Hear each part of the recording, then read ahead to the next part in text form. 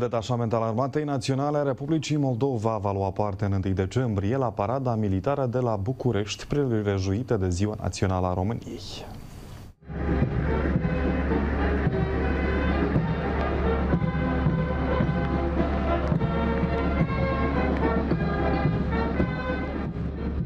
Militare ai gărzii de onoare din Republica Moldova vor defila pe sub arcul de triumf din București, alături de soldați din alte contingente străine dislocate în România. Detașamentul Basarabean va fi condus de majorul Pavel Lâsâi, iar drapelul de stat va fi purtat de soldat clasa 3 Marius Gutium. Pentru mine personal va fi pentru prima dată în București, România, la parada de 1 decembrie. Este o mândrie pentru familie, pentru țară și sper că să fie tot bine. Le urez tuturor uh, românilor uh, multă sănătate, succes și baftă. Soldații din Republica Moldova participă din anul 2014 la paradele militare prilejuite de Ziua Națională a României.